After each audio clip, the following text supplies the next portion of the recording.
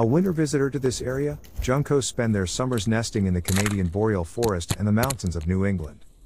Juncos, although one of the most abundant birds, is also one of the most controversial in North America. The controversy lies in its subspecies, and whether or not each should be considered distinct.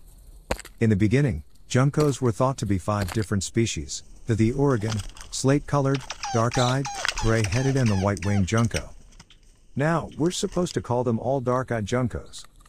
Nicknamed snowbirds, research has revealed that their migration is triggered more by changes in daylight than temperature. Spending as much as 65% of their time on the ground, they even make their nests under trees. Banding records show that they can live to be 11 years old. Quite long for a songbird.